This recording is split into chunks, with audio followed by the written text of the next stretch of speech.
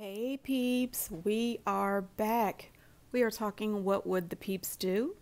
And this one is called Makeover. Hey, before we get into the video, please do me the honors of subscribing to my channel, hitting the notification bell so you can always be notified when I post new content, hitting the thumbs up because that does wonders for my channel, and share. Thanks. So, this person writes in that she is literally shaking right now.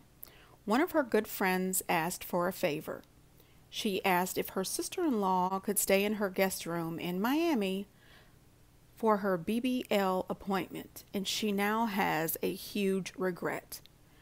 She said that she received a text message. The text message said, Hi, blank gave me your phone number.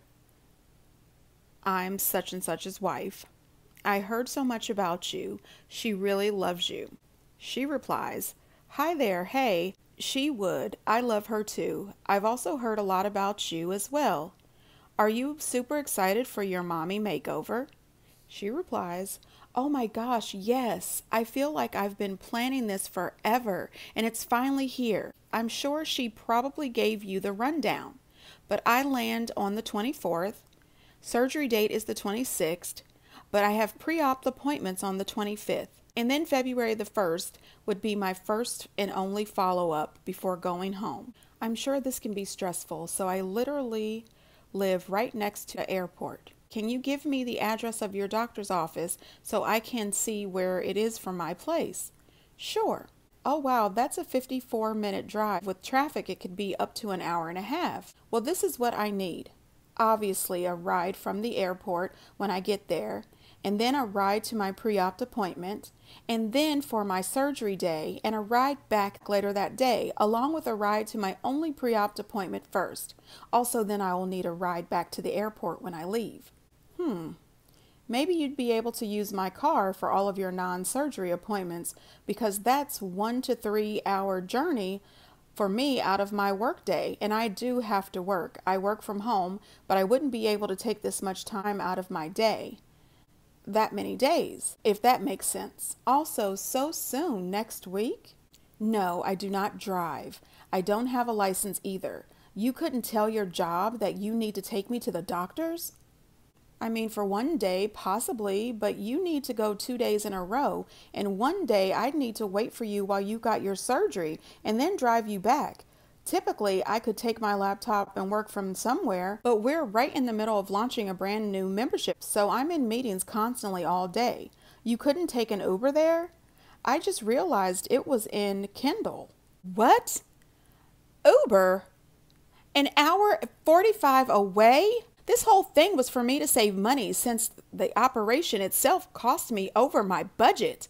I budgeted for a hotel near there, but the procedure ate up into that cost. Really? Honey, now listen. Anyway, let's keep going. And also, I'm totally cool with you staying in my guest room for a few, but after surgery, you need a caretaker of some sort. I wouldn't be able to do that. Also, would you just DoorDash food to yourself while you're here? How would all of this work? Um, you don't cook? What do you eat? oh, no way. Okay. Sometimes, but my boyfriend and I go out with friends, go out to eat, do takeout, eat at his mom's. So we need to be in charge of feeding you? Well, you guys are eating anyways. I don't get what the hassle you're making is. David said he could give you a $100 to take me to my appointments. I'm sorry. It's not about the money. You caught me at an extremely busy time. Last night I didn't close my laptop until 1:30 a.m. We're about to launch our membership product, and I can't risk not being able to make a meeting or something with your doctor's office being that far. I don't want to be mean, but you guys just laid all of this on me last minute. I can't just reorganize my priorities. Wow, so basically, whoever the lady is lied to me. Cool.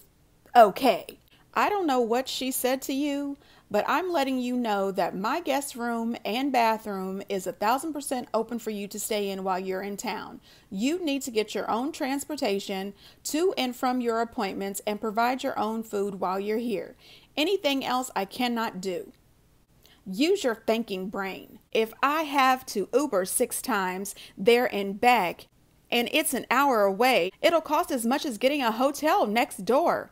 What part of saving money do you not understand? The part where you want me to take you 10 hours plus out of my work scattered on different days, short notice, doing an extremely busy week. That's the part I don't understand. I'm even extending my vehicle to you to use. Bring a friend with a driver's license and have them drive you with my car to your appointments. Wow, laugh out loud. Okay, let me just pay a ticket for someone to come to Miami with me for free. This is insane. Now, what am I going to do? Everything has been scheduled and paid for.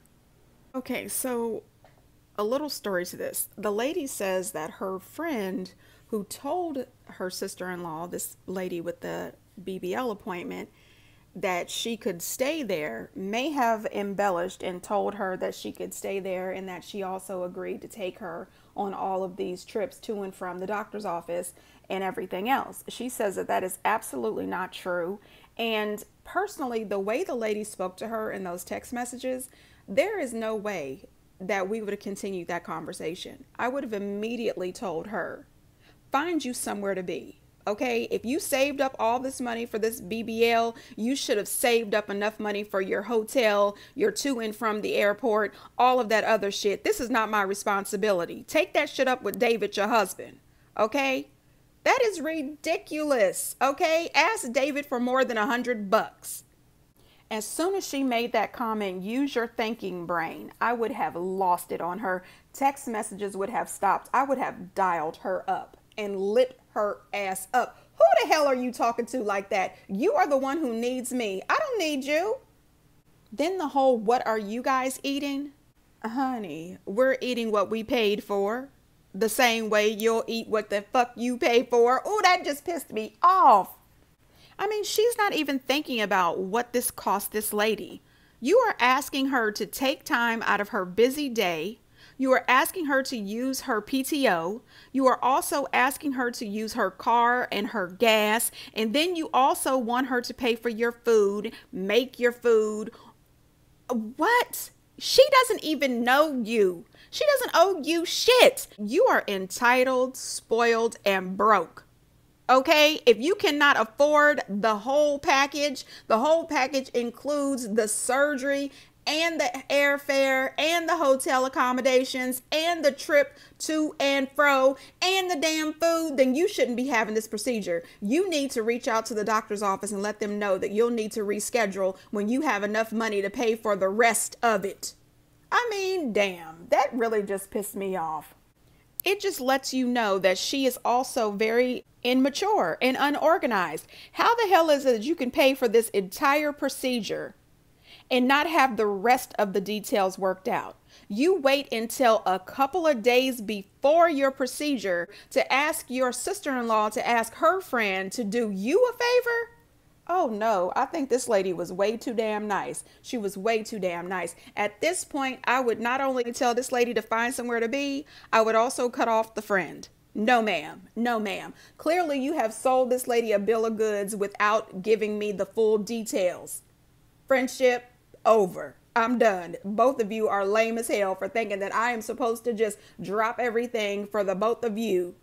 Uh uh-uh, uh, i am out. Get in the comments, peeps. Let me know what you think. And until next time, bye.